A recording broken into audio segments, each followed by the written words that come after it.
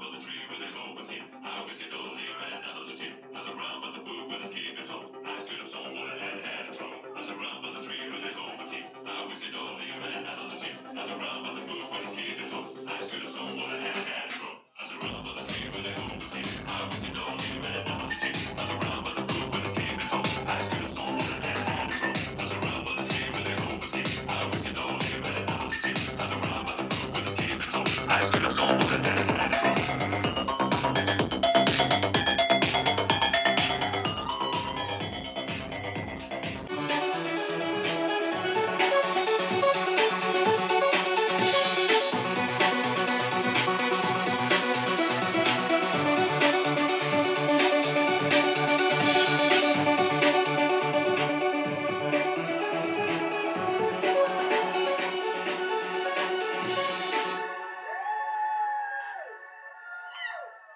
Thank